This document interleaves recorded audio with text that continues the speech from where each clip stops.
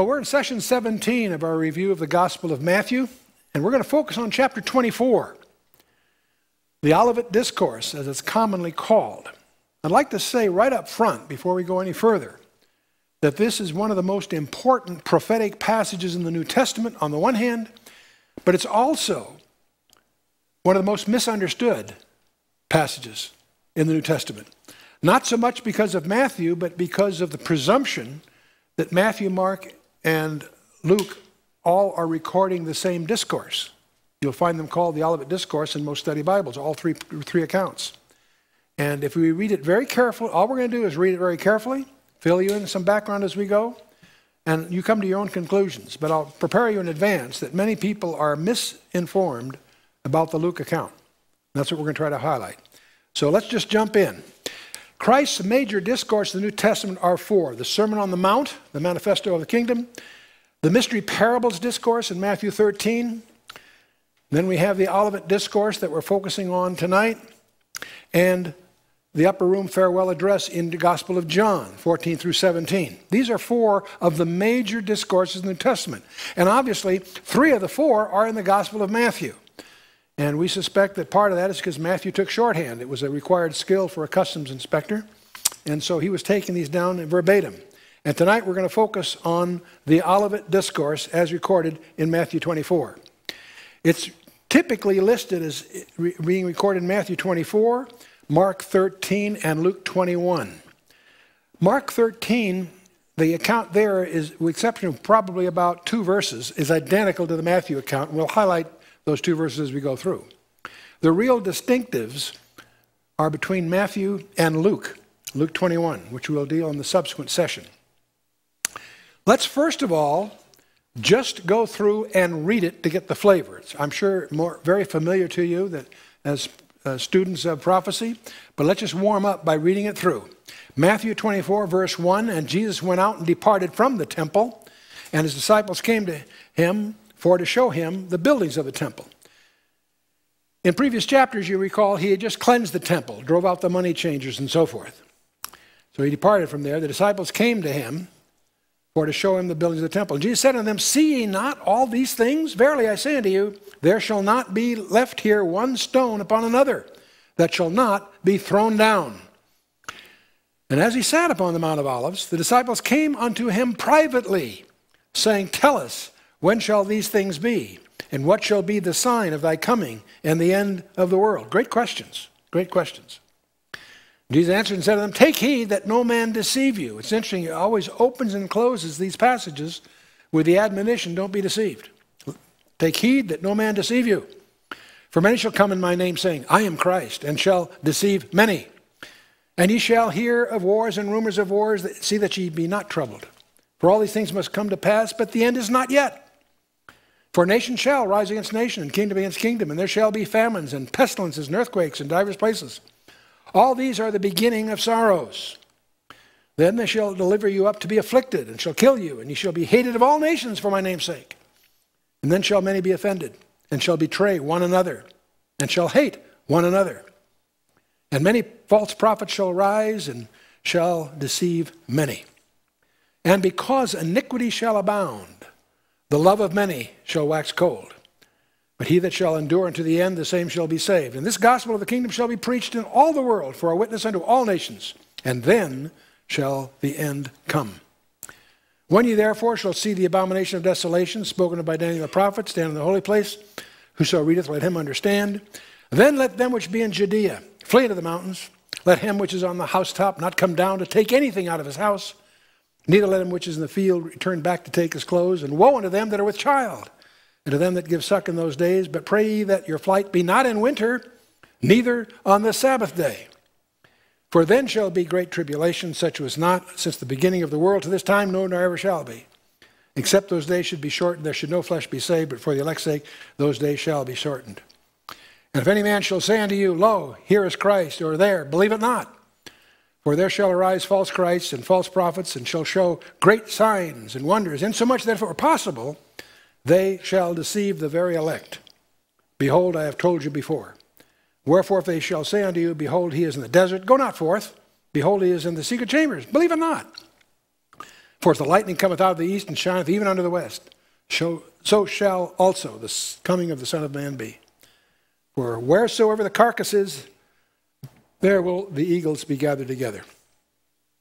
Immediately after the tribulation of those days shall the sun be darkened, the moon shall not give her light, the stars shall fall from heaven, the powers of the heaven shall be shaken. And then shall appear the sign of the Son of Man in heaven, and then shall all the tribes of the earth mourn, and they shall see the Son of Man coming in the clouds of heaven with power and great glory. And he shall send his angels with a great sound of a trumpet, and they shall gather together his elect from the four winds and from one end of heaven to the other. Now learn the parable of the fig tree. When his branch is yet tender and putteth forth leaves, ye know that summer is nigh. So likewise ye, when ye shall see all these things, know that it is near, even at the doors. For verily I say unto you, this generation shall not pass till all these things be fulfilled. Heaven and earth shall pass away, but my word shall not pass away. But of that day and hour knoweth no man, no, not the angels of heaven, but my Father only. But as the days of Noah were, so shall also the coming of the Son of Man be. For as in the days that were before the flood, they were eating and drinking, marrying and giving in marriage, until the day that Noah entered into the ark and knew not until the flood came and took them all away. So shall also the coming of the Son of Man be. Then shall two be in the field, one shall be taken, the other left. Two women shall be grinding at the mill, one shall be taken, the other left. Watch therefore, for ye know not what hour your Lord doth come. But know this, that if the goodman of the house had known in what watch the thief would come, he would have watched and would not have suffered his house to be broken up. Therefore, be ye also ready, for in such an hour as ye think not, the Son of Man cometh. Who then is a faithful and wise servant, whom his Lord hath made ruler over his household, to give them meat in due season? Blessed is that servant whom his Lord, when he cometh, shall find so doing. Verily I say unto you that he shall make him ruler over all his goods. But and if that evil servant shall say in his heart, My Lord delayeth his coming, and he shall begin to smite his fellow servants, and to eat and drink with the drunken. The Lord of that servant shall come in a day when he looketh not for him, and in an hour that he is not aware of, and shall cut him asunder, and appoint him his portion with the hypocrites. There shall be weeping and gnashing of teeth. So that's Matthew 24, our first sweep through to get the flavor of what I believe is a familiar passage to most of you. I want to do the same thing with the Luke passage just skim it through. You'll notice the similarities, and you'll also know some things that are a little different. Let's take a look at Luke. Luke chapter 21, starting about verse 5. As some spake of the temple, how it was adorned with goodly stones and gifts, he said, As for these things which ye behold, the days will come in the which there shall not be left one stone upon another that shall not be thrown down. And they asked him, saying, Master, but when shall these things be, and what sign will there be when these things shall come to pass? And he said, Take heed that ye be not deceived. For many shall come in my name, saying, I am Christ, and the, and the time draweth near. Go ye not therefore after them. But when ye shall hear of wars and commotions, be not terrified, for these things must first come to pass, but the end is not by and by. Then said he unto them, Nation shall rise against nation, kingdom against kingdom. And great earthquakes shall be in divers places, and famines, and pestilences, and fearful sights, and great signs shall be, there be from heaven. But before all these, they, they shall lay their hands on you and persecute you, delivering you up to the synagogues and into prisons, being brought before kings and rulers for my name's sake. And it shall turn to you for a testimony. Settle it therefore in your hearts, not to meditate before what ye shall answer. For I will give you a mouth and wisdom, which all your adversaries shall not be able to gainsay or resist. And ye shall be betrayed both by parents and brethren and kinsfolk and friends and some of you shall they cause to be put to death. And ye shall be hated of all men for my name's sake, but the, there shall not a hair of your head perish. In your patience possess ye your souls, and when ye shall see Jerusalem compassed with armies, then know that the desolation thereof is nigh. Then let them which are in Judea flee to the mountains, and let them which are in the midst of it depart out. Let not them that are in the countries enter thereinto. For these be the days of vengeance, that all things which are written may be fulfilled. But woe unto them that are with child, and to them that give suck in those days, for there shall be great distress in the land, and wrath upon this people. And they shall fall by the edge of the sword, and shall be led away captive into all nations. And Jerusalem shall be trodden down of the Gentiles until the times of the Gentiles be fulfilled. And there shall be signs in the sun, and the moon, and in the stars, and upon the earth, distress of nations, and with perplexity, the sea and the waves roaring, men's hearts failing them for fear, and for looking after those things which are coming on the earth, for the powers of heaven shall be shaken. And then shall they see the Son of Man coming in a cloud with power and great glory. And when these things begin to come to pass, then look up, lift up your heads, for your redemption draweth nigh. And he spake to them a parable Behold the fig tree and all the trees. When they now shoot forth, ye see and know of your own selves that summer is now nigh at hand. So likewise ye, when ye see these things come to pass, know ye that the kingdom of God is nigh at hand. Verily I say unto you, this generation shall not pass away till all be fulfilled. Heaven and earth shall pass away, but my word shall not pass away. And take heed to yourselves, lest at any time your hearts be overcharged with surfeiting and with drunkenness and the cares of this life, and so that day come upon you unawares. For as a snare shall it come on all them that dwell on the face of the whole earth. Watch ye therefore and pray always, that ye may be accounted worthy to escape all these things that shall come to pass, and to stand before the Son of Man. So that's the Luke passage. Obviously, very similar in many respects, and yet there are some differences that the more you study, the more disturbing they become. What are some of the issues? Well, the destruction of Jerusalem. It turns out the dis discussion of the destruction of Jerusalem is very different in both accounts. Is it the destruction in 70 AD that's a major landmark in Jewish history? Or is it an event yet future? And the abomination of desolation that Matthew talks about, what on earth is that all about? What is it? When did it happen? Or has it not happened yet? The Great Tribulation, the parable of the fig tree, these are all issues that prophecy buffs argue about. And it talks about this generation shall not pass away. Which generation is he talking about? And this doctrine of imminence underlays all of this, that he could come at any moment both to the world and also to us individually. It has a number of implications. So these are some of the issues that lurk behind our understanding of this critical passage given by the Lord Himself. Let's back up a little bit and review what I like to call uh, the epistemology. And that's simply the study of knowledge, its scope and limits. How do we know that anything is true?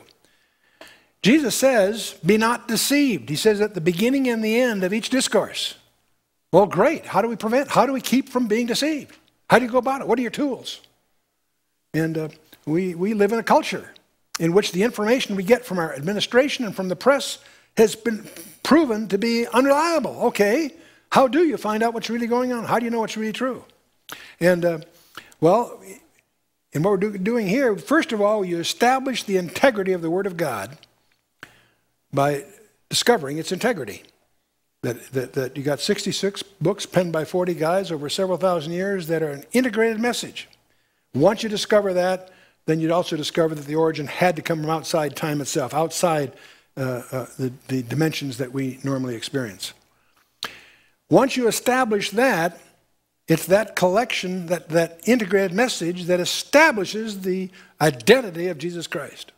Mel Gibson, in his movie The Passion, did a marvelous job in many respects but it led to two areas of confusion. It created the impression that the crucifixion was a tragedy. It was an achievement that was planned before the foundation of the world. The second thing it failed to do is identify who Jesus Christ really is. Not just a great teacher, a great religious leader, quite the contrary. He's the most anti religious person ever walked the earth. So once you establish the identity of the Scripture, then with that you establish Christ. And then from that, you carefully understand precisely what he said. Find out what he actually said and address that with a, a, great care and precision. Our epistemologic approach is to establish the identity of the, the integrity of the design, which establishes the identity of Jesus Christ, and he then, of course, identifies, authenticates the whole package. That's our epistemological model, in effect.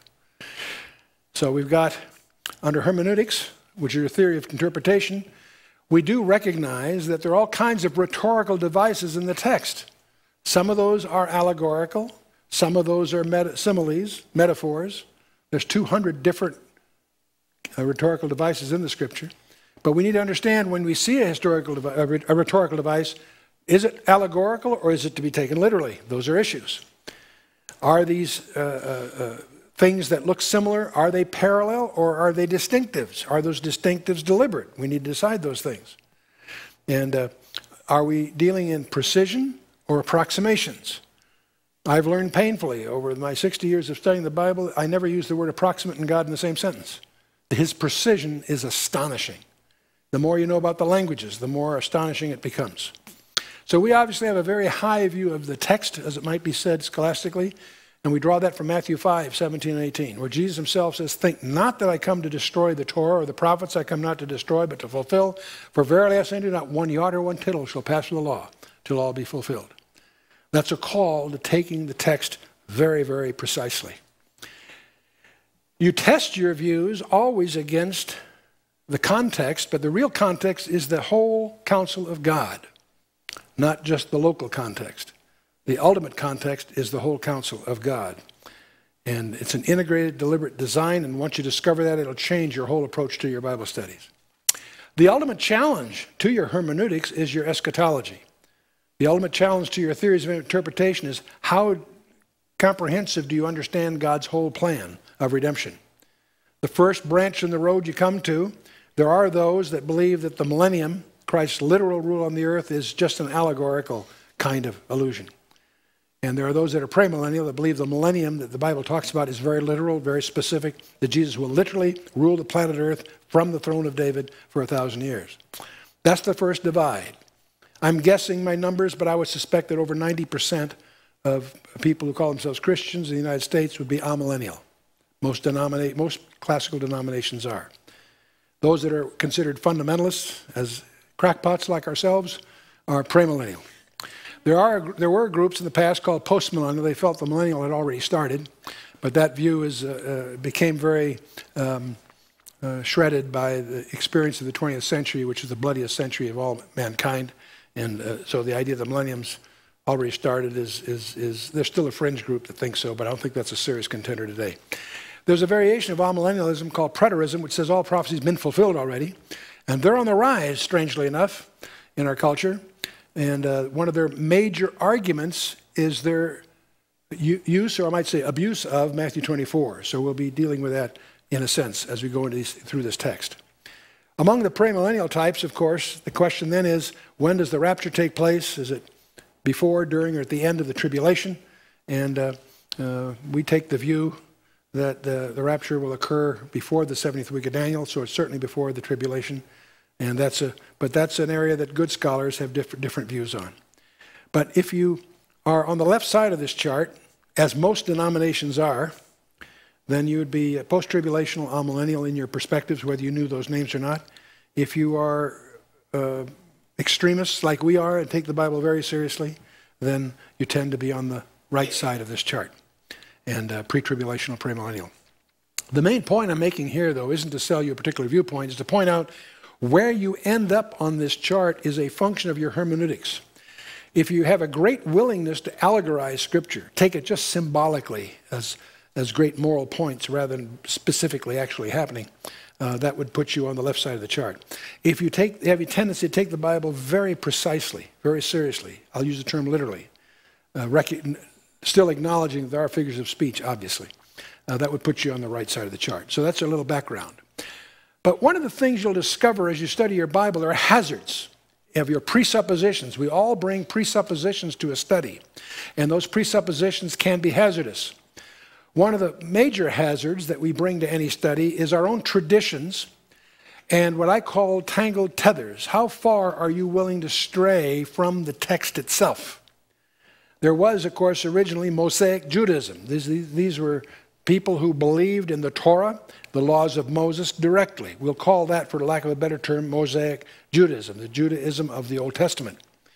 But as time went on, there were those that embraced what they called the oral law. They added to what Moses wrote with other rules, 613 of them actually, and they end up being codified in a thing called the Talmud in the third through the sixth centuries AD. And uh, the Pharisaical Judaism is what Christ, when he uh, uh, shows up, he preaches against. Many of the conflicts in the New Testament are his rebuttal of these uh, uh, self-imposed rules that weren't, were, did violence to what God intended as he expressed himself through Moses. And the tension between Pharisaical Judaism and Mosaic Judaism is in part what accounts for those confrontations that we've encountered in the Gospel of Matthew already. As you get after the fall of the temple, fall of Jerusalem and the destruction of the temple, the, the, Judaism has a huge problem because they've been taught that by the shedding of blood, only by the shedding of blood is remission of sins, and now there's no place to shed blood, there's no temple, there's no altar. They had to redefine Judaism. So they, they had the Council of Yamnia in 90 AD, which began this trend to redefining Judaism to what we see today in large measure would be more properly called Talmudic Judaism. They spend more time studying the Talmud than they do the text itself. So the point I'm getting here is the tether is getting a little longer each stage, going from the written law to the oral law, and then from that oral law to the written down oral law called the Talmud. It went further. When you get to the 12th century, you have the rise of the writings of the Kabbalah, Jewish mysticism, which goes even further. In fact, it actually even inverts some of the teachings of Moses. It, it, literally is an attempt to unveil the Father's nakedness where they're speaking of the Godhead itself. And uh, so the tether is getting so bad that there was a reaction to some of that that led to the Hasidic Judaism in the 18th century, six centuries later. But each step of these things involves what I call tangled tethers. They're using the anchor of the text, their, their tether from that anchor is getting too long. They get themselves tangled up into their own uh, definitions. So that's that we're all victims of traditions. This is just one chain that is uh, relevant to our studies. They drift away from the original anchor of the text itself. We now know from computerized studies that God gave Moses the Torah letter by letter. It has properties that only are sustained by not omitting a single letter. But there's another danger that we have, perhaps more subtle, but one I want you to be aware of, and that's where we harmonize the scripture. We find two accounts that are different but similar enough, we assume they're the same account that one of the two writers just didn't quite get it right. Are they really recording the same thing or not? Most of those are in the, in the periphery, not really serious. But the Olivet Discourse is one of them. Is it past or is it future? The preterist would have you believe it deals with things of the past. And yet, uh, uh, that has some problems we're going to take a look at.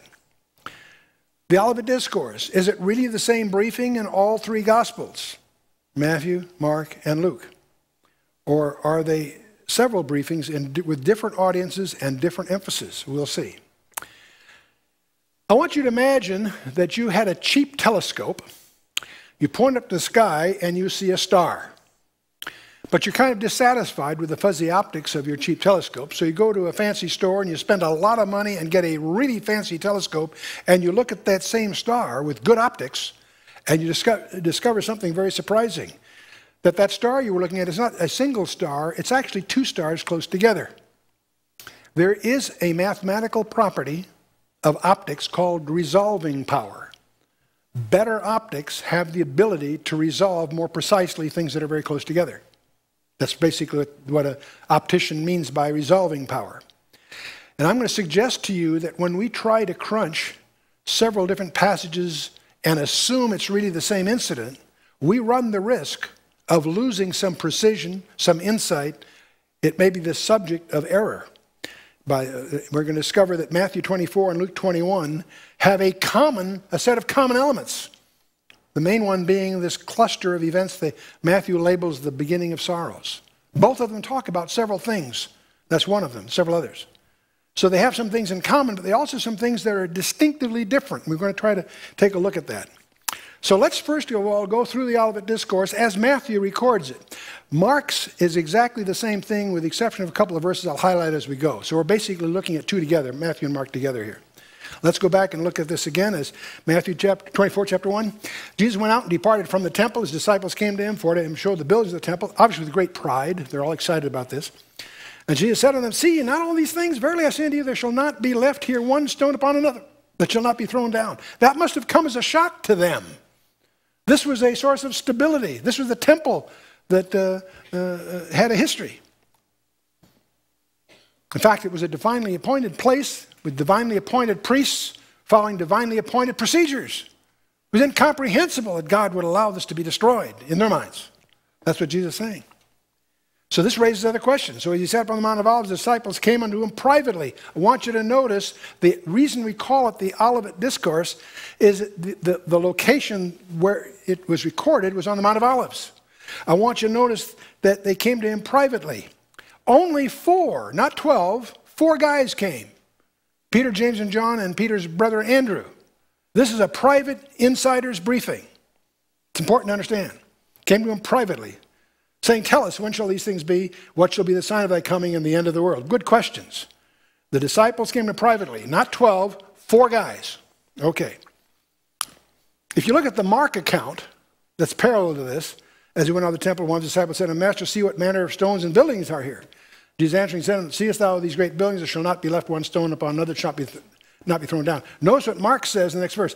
As he sat upon the Mount of Olives over against the temple, Peter, James, John, and Andrew asked him privately, just these four guys, Tell us when shall these things be, and what shall be the sign when all these things shall be fulfilled. That's the only difference in the Matthew and Mark account. Let's go back a little further here now. I want you to realize that Jesus had a lot of followers probably in the hundreds, especially at this time because they all heard about Lazarus and what have you. So that's the general public. As outside that, there's groups that are his followers that are, uh, after Matthew 12, he, he speaks to the public only in parables. But inside his total followers, there's a group called the 70 we read about. But inside that 70, there are the 12. You even use that as a title when there's only 11. After Judas departs, they still call it the 12, but it means, or it's really the 11, as we would say. And of course, within the 12, there's an inner circle, right? And that inner circle consists of three guys that were present with Jairus' daughter when she was raised from the dead. These three guys are at the transfiguration in Matthew 17. These three will be in an inner circle at Gethsemane, a little closer than the rest. And of course, these three plus Andrew, uh, Peter's brother, are at the Olivet Discourse. So this is what we're talking about the inner circle. That's the point I'm trying to get across. Okay. So to this inner circle, Jesus answered and said to them, Take heed that no man deceive you. For many shall come in my name, saying, I am Christ, and shall deceive many. Christ is a title, claiming to be the Messiah. Not the Messiah of Israel necessarily, but the, the, the Messiah that's coming on the world here. And ye shall hear of wars and rumors of wars. See that ye be not troubled. For all these things must come to pass, but the end is not yet. It fascinates me how many people use wars and rumors of wars as signs. They're non signs. This, that, and the other thing happened, but the end is not yet, he says. He's going to show you signs in a minute. That's not one of them. Because he goes on to say, For nation shall rise against nation, kingdom against kingdom. And there shall be famines, pestilences, and earthquakes in divers places. All these are the beginning of sorrows, or the actually the, the uh, the label in the Greek is birth pangs. Sorrow is like a woman has in labor, increasing in intensity and increasing in frequency. This group of signs is referred to by both writers, Luke and Matthew. I'm going to cluster these and call them the beginning of sorrows. It's a group, okay? Nation shall rise against nation, kingdom against kingdom, famines, pestilences, earthquakes in divers places. Why am I doing that? Because they are listed consistently in three interesting places. The false Christ, the wars, the famines, pestilence, earthquakes are in Matthew 24, verses 4 through 9. They're also, the same list is in Luke 21, verse 4 through 24, in effect. And Revelation opens in chapter 6 with the first dozen verses listing those same things using slightly different idioms. But again, you've got the white horseman, the red horseman, the black horseman, and so forth, right? Okay. So these are, I'm going to call the beginning of sorrows to give them a, a cluster, a label, okay? Now, what Matthew records, then shall they deliver you up to be afflicted. Very key word here. See that word then? Underline that in your Bible. It's going to be important later. Then shall they deliver you up to be afflicted and shall kill you. Gee, that's wonderful news. And you shall be hated of all nations for my name's sake. And then shall many be offended and shall betray one another and hate one another. And many false prophets shall rise and shall deceive many. Okay? And because iniquity shall abound, the love of many shall wax cold. As my wife pointed out to me, the word love there is agapeo. The, lo- the agape of many shall wax cold. The lack of love within the Christian body is a sign of the times. I was shocked to get that prophecy lesson from my wife, who's dedicated her ministry on that issue love within the body. But he that shall endure to the end, the same shall be saved. And this gospel of the kingdom shall be preached in all the world for a witness unto all nations, and then shall the end come. Then you get to verse 15, and the identical verse is in Mark 13, verse 14.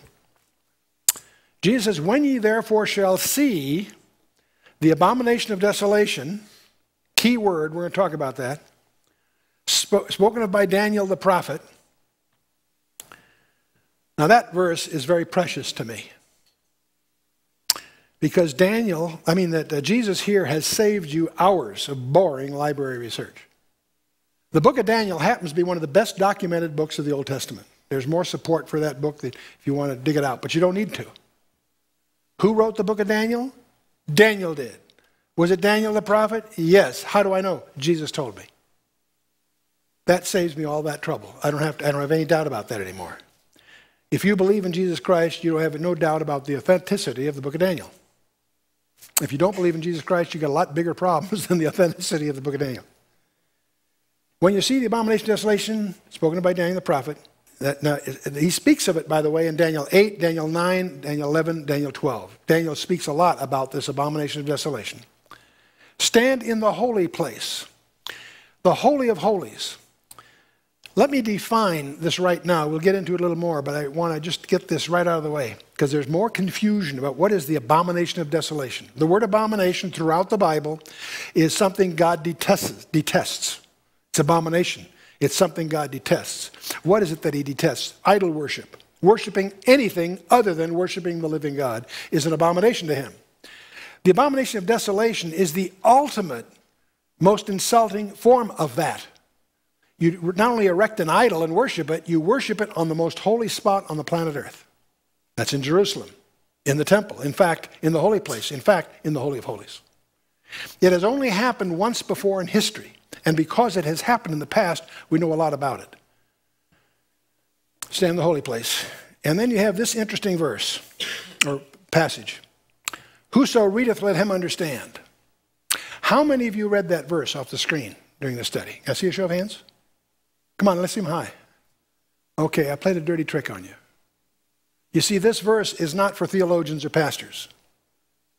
It's for everybody that had their hand up. Whosoever readeth, let him understand. You have incurred an obligation to understand what this highly technical, highly precise verse is saying. Jesus is telling his believers, his disciples, when ye therefore shall see, it's something they're going to be able to see. Well, that's confusing. The abomination of desolation, that's an idol, a pagan idol in the Holy of Holies, which is spoken of by Daniel the prophet at least in four places. Stand in the holy place. How can, now the holy place is a place that only the high priest can enter and only once a year and only after great ceremonial preparations called Yom Kippur. If only the high priest can go in there and only on once a year, how can you, as somebody in Judea, see this going on? Anyone? CNN, exactly. This will be a televised, this strangely enough, this may sound like I'm being flippant, I'm not. This is actually includes within it a prediction of global television. There's going to be several of those throughout the Bible, by the way. Let's move on. We need a little background because the, the, the abomination of desolation occurred in the past. There was a guy by the name of Antiochus IV he was the son of Antiochus III, who was known as Antiochus Antiochus the Great. He became the successor of his brother, Seleucus IV, who had been murdered by his minister, the king of Syria. Um, Antiochus IV was a despot, highly eccentric, highly unpredictable, unreliable, very cruel, astonishingly cruel, and tyrannical. He adopted the nickname Epiphanes, which is an abbreviation of the Greek uh, Theos Epiphanes, which is a designation he gave himself. What it means is the God who appears or reveals himself. You get some insight into his humility by the label he picks up.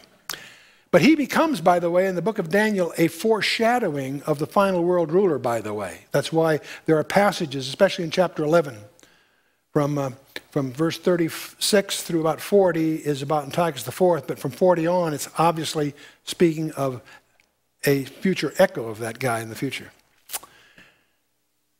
Antiochus undertook the total eradication of the Jewish religion.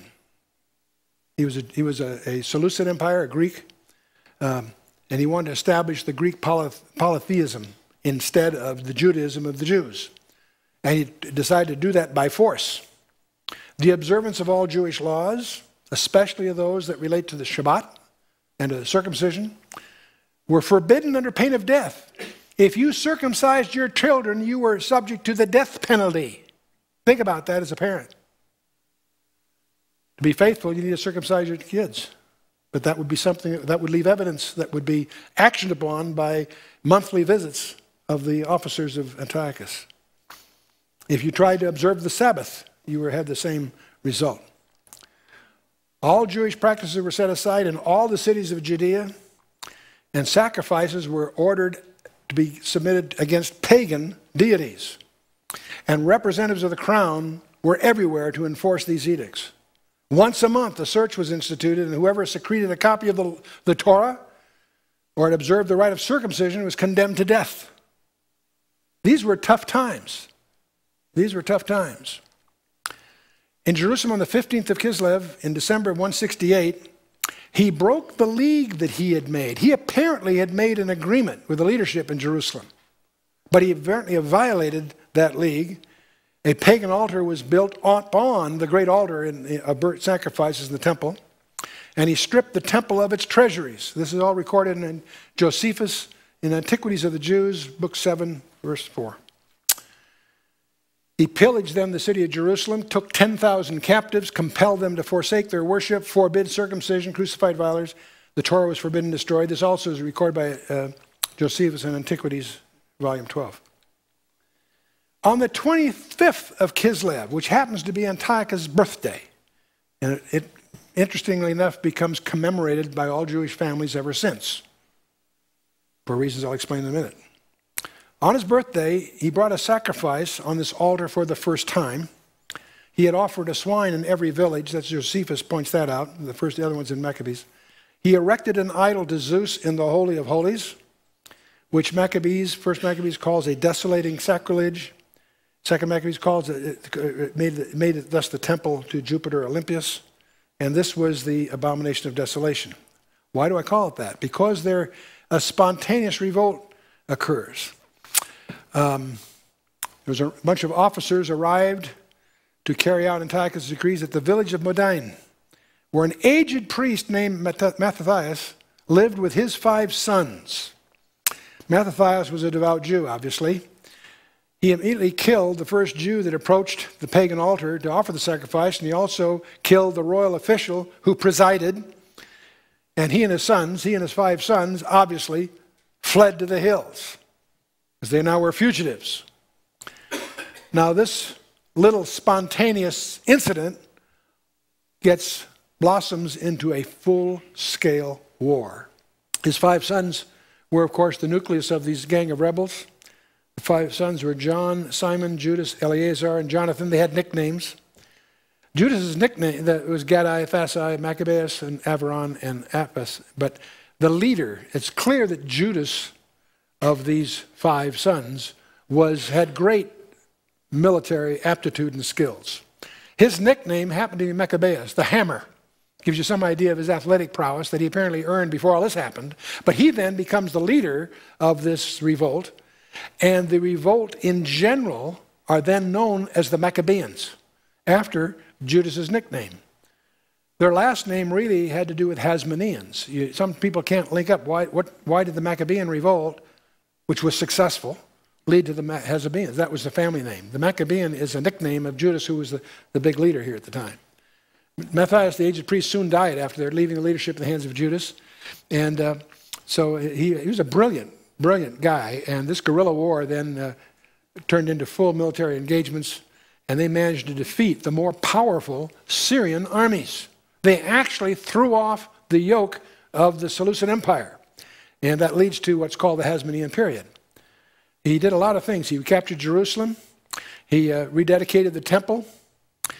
It took three years. It's the third year on the anniversary of its desecration that they rededicate the temple on the 25th of Kislev. And that is honored by the Jewish community every 25th of Kislev since then. It's called Hanukkah. We always associate Hanukkah with the colorful legends that surround. Just it's analogous to talking about Santa Claus and Christmas in a sense. They have some colorful legends about Hanukkah, but set that aside for the moment. The real issue is they're celebrating the rededication of the temple. And, uh, uh, and it's, it's authorized in the New Testament, by the way. In John chapter 10, verse 22, the New Testament makes allusion to Hanukkah. I think the Holy Spirit did that to make you do your homework on this background. Now, Antiochus' death also took place in 164, so that's a, that's a great year by any accounting, okay? Now, he continued uh, successfully to press what was now a war for independence. His last great victory was over the force of Nicanor, Beth Horon. Beth Horon was the same place that Joshua had the sun stand still and all that.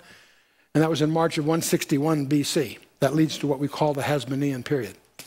And uh, that endures until Pompey conquers Judea on behalf of the Romans in 63 BC. So it, it lasts about a century of what we call the Hasmonean period. Okay. So here we have the abomination of desolation, spoken by Daniel the prophet, stand in the holy place. Now here's, here's the problem. Jesus is talking this at about 32 AD.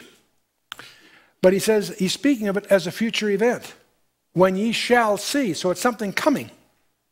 But what we know about it, if you were Jewish at that time, that word conjures up a memory of a couple of, you know, a couple of centuries ago. I want you to get that clear in your mind. I think I've got a little chronology here. Visualize this as a timeline. Daniel's prophecy was, call it the uh, fifth, uh, fifth century BC, just ahead of the return when they were freed. The, the Persians conquered Babylon and free them go home.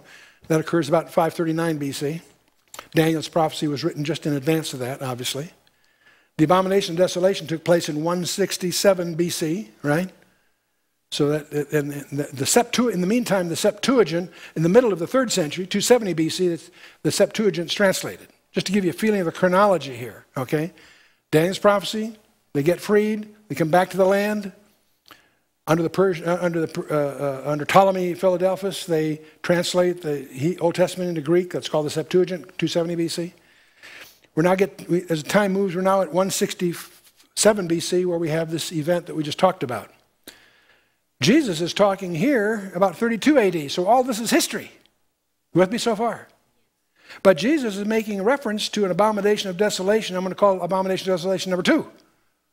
Because he's talking about something that hasn't happened that is mirrored in advance in, in by Antiochus Epiphanes. Are we together on that? The reason we're so comfortable about knowing it, because it happened in the past, and Jesus himself is making reference to it. In fact, he links Jesus himself in the Olivet Discourse points you to Daniel to unravel prophecy. Jesus is pointing his insiders to Daniel chapter 9 as the key to end time prophecy. Now, we've just been through all that. This is, I'm just trying to tie it all together for you. Okay. So, we have a term that Paul uses called the fullness of the Gentiles, referring to the church. Because after, after Jesus is, resur is resurrected and then ascended, we have the, the church is born at the Feast of Shavuot, or Feast of Pentecost as we call it. It was born in a miracle, it will end in a miracle. That period of time, Paul uses the phrase the fullness of the Gentiles in Romans 11 25. Don't confuse that, and obviously, by the way, that leads to the tribulation. Don't confuse that term with the times of the Gentiles, which starts with Nebuchadnezzar and ends with the Antichrist. The times of the Gentiles, Luke uses in this thing to refer to Gentile dominion on the planet Earth, and it will be consummated with the Antichrist. So don't let those two terms confuse you. But obviously, after the tribulation comes Armageddon, the Lord intervenes, sets up his kingdom. And we're going to focus shortly on this peculiar period of time called the 70th week, which is split into two, three and a half year period. Remember when we talked about Daniel 70 weeks? We had 69 weeks that predicted the exact day that Jesus rode that donkey into Jerusalem. Then there's an interval. Verse 25 of the 69 weeks, we dealt with that. Verse 27 will deal with the last of the 70th weeks, the 70th week. There is an interval between the two, verse 26, during which the Messiah is executed and which the temple is destroyed. These things happen after the riding of the donkey, presenting himself as king, and yet they occur before the 70th week. There's a discontinuity, there's an interval, a gap, if you will. And that gap includes the church. The 70th week is verse 27. And a lot of the detail there we've talked about in the past. It's defined by a covenant being enforced by the world leader. That's what defines it. It doesn't not defined by the rapture. That apparently occurs sometime prior to that.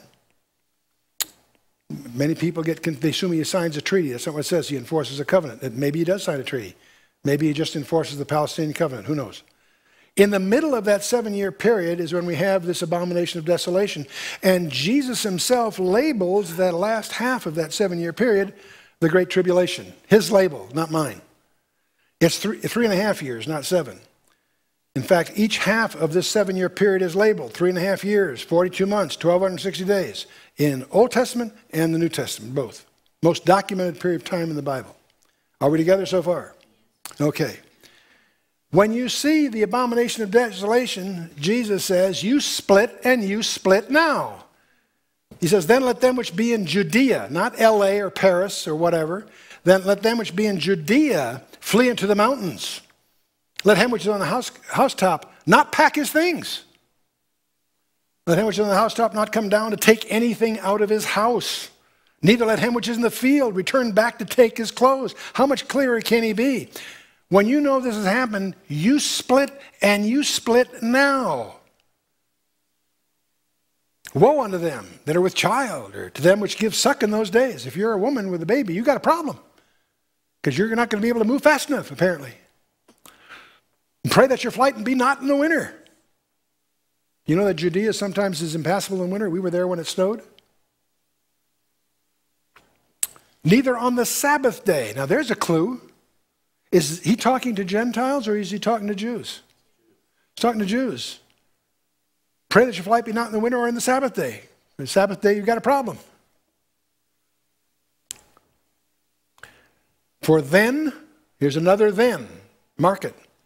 For then shall be great tribulation, such as not since the beginning of the world to this time, nor ever shall be. That's a technology statement.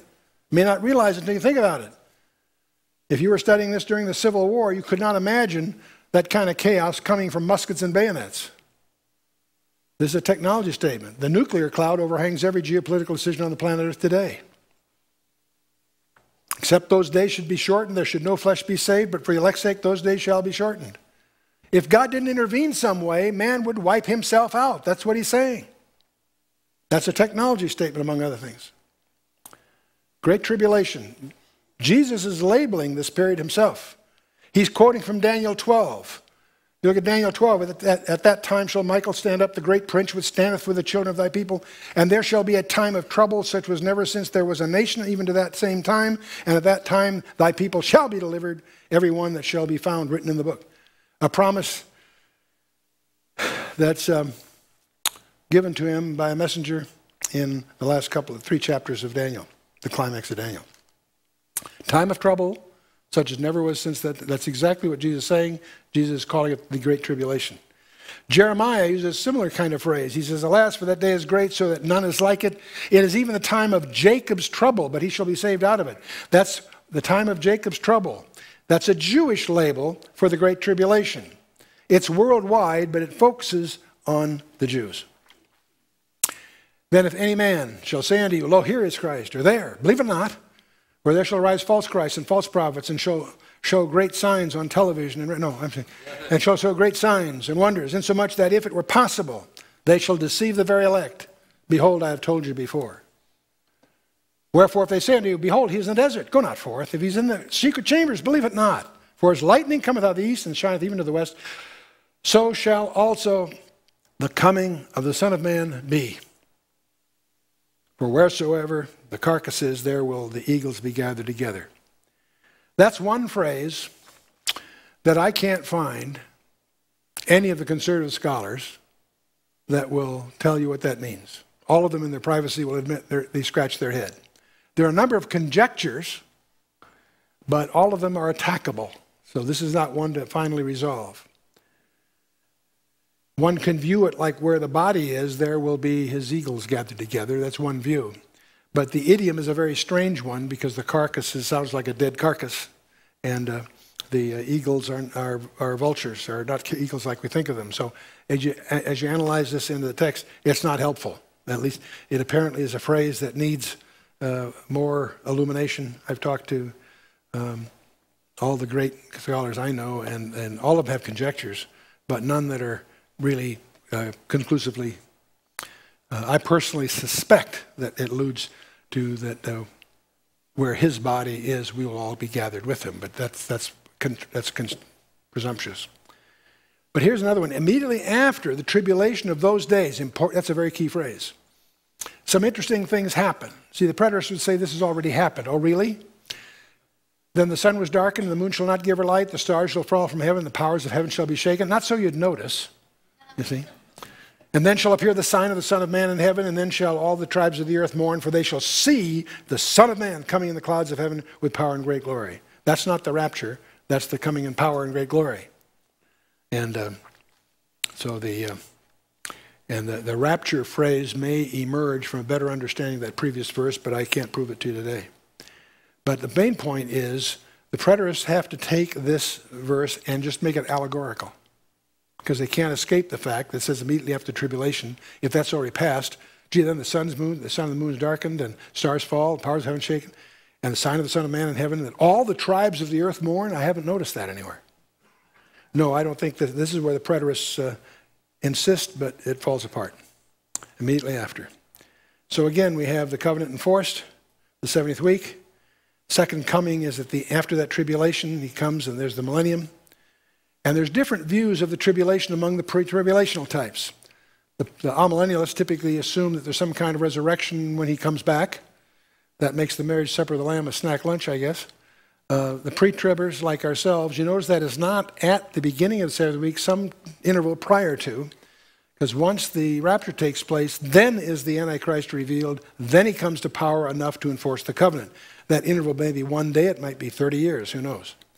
And there are those that recognize that the rapture has to occur before the Great Tribulation, but they recognize the tribulation is three and a half, not seven years. So there's a mid trib subset of the pre tribbers, but that's fine. Both the mid tribs and the post tribs have to deny the doctrine of imminence. The doctrine of imminence throughout the New Testament causes us to understand that he can come at any moment. And imposing any conditions on that clouds the doctrine of imminence.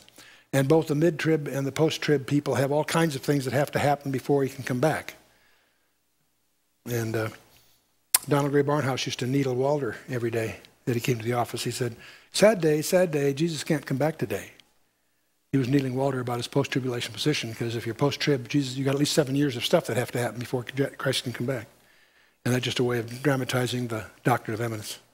But it's that interval, I don't know whether it's one hour or many months or days, who knows. Okay. He shall send his angels with a great sound of a trumpet, and they shall gather his elect from the four winds and from one end of heaven to the other. Now learn the parable of the fig tree. Ah, here comes the big one. When his branch is yet tender, putteth forth leaves, you know that summer is nigh. So likewise, ye, when ye shall see these things, know that it is near even at the doors. Verily I say unto you, this generation shall not pass till all these things be fulfilled. There are all kinds of people writing books that try to make the fig tree Israel or Judah or whatever. No, that, that they're the vine, not the fig tree generally. But Luke punctures this by saying the fig tree and all the trees. The issue here isn't the fact that it's figs. The issue here is that it's spring coming. When you see the first signs, you know that summer's coming near. That's his basic point. Verily I say unto you, this generation will not pass until all these things be fulfilled. I'll come back to this after we've looked at the Luke account. Heaven and earth shall pass away, but my word shall not pass away. But of that day and hour knoweth no man, no not the angels of heaven, but my Father only. That's the way it is in the Matthew account. The way it's in the Mark account is really disturbing. The same equivalent verse in Mark 13 Heaven and earth shall pass away, but my word shall not pass away. But of that day and hour knoweth no man, no not the angels of heaven, neither the Son, but the Father only. Now that's quite a verse to chew on.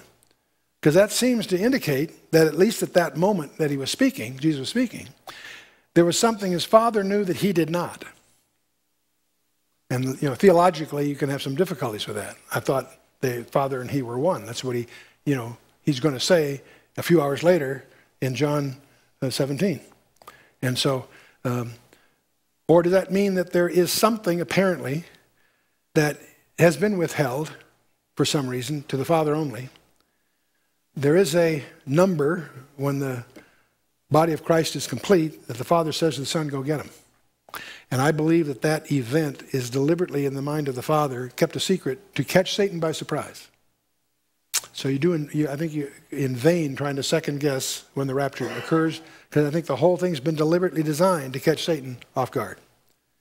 But this is a troublesome, troublesome verse, but in the interest of being complete, I want to call to your attention. When it says neither, there's neither the Son but the Father only, that's, that raised some very interesting discussions among theologians about the Trinity. But we'll forego those and go on here. As the days of Noah were, so shall the coming of the Son of Man be.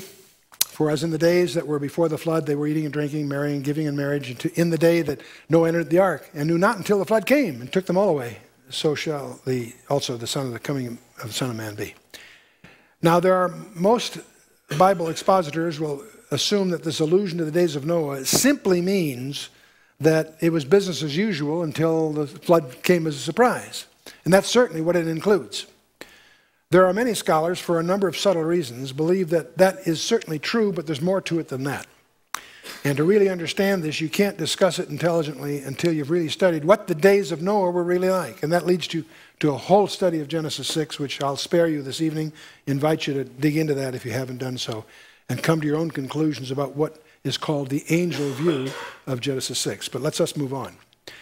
There shall be two in the field, one shall be taken, the other left. Two women shall be grinding at the mill, one shall be taken, the other left. And another account will say there, there are uh, uh, two sleeping in the same bed, one will be taken, the other left. The three, those, passages put together is interesting because it indicates that Jesus understood that the world was round.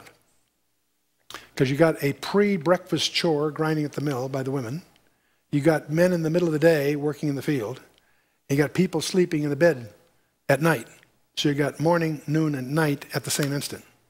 So it tells you it's, it, it, it, it's, it's one of the things we take for granted, but I just want to point out that uh, it, it, it, it uh, requires a accurate worldview to appreciate. Anyway, but um, wherefore there, you know not what hour your Lord doth come. That's obviously, an, I believe it's an allusion to the rapture. There's different views on this thing. But know this that if the good man of the house had known in what watch the thief would come, he would have watched and would not have suffered his house to be broken up. Don't be confused by the unfortunate translation for good man. The word in the Greek actually means master, head of the house. Good man here is unfortunate because we assume he's a good man. No, the term really means the head of the house. No more. It's not. It's not a. It's a. It's not a, uh, a value judgment. He's the master of the head of the house. Is what the term in the Greek means. Notice that if the head of the house had known in what watch the thief would come, he would have watched and would not have suffered his house to be broken up. Who is the master of the house? Anyone? Satan, exactly. Who's the thief? Idiomatically. Christ. Sounds strange. Think it through. Come to your own conclusions. Satan's house is going to be, that's Jesus is going to catch Satan by surprise, is the point. Therefore be ye also ready, for in such an hour as ye think not, the Son of Man cometh. The Son of Man is that thief in the idiom of the previous parable. Who then is a faithful and wise servant whom his Lord hath made ruler over his household to give them meat in due season? Blessed is that servant whom his Lord, when he cometh, shall find so doing. Verily I say unto you, that he shall make him ruler over all his goods. What's all this mean? Be diligent, moment by moment. There are many, many signs in the horizon that cause us to believe that we're moving into the end times. Okay, if so, it's time to put some urgency about raising the bar on your personal walk, on your faith and your commitments to our King. Make sure that he's not number one on a list of 10, he's number one on a list of one. But and if that evil servant shall say in his heart, My Lord delayeth his coming, he shall begin to smite his fellow servants and to eat and drink with the drunken. The Lord of that servant shall come in the day when he looketh not for him, but in an hour that he is not aware of, and he shall cut him asunder and appoint him his portion with the hypocrites. There shall be weeping and gnashing of teeth. So in the next session, I want you to compare carefully Matthew 24 and Luke 21. Are they the same? Or was it a different occasion with different audiences and a different emphasis? That's your challenge between now and next week's session.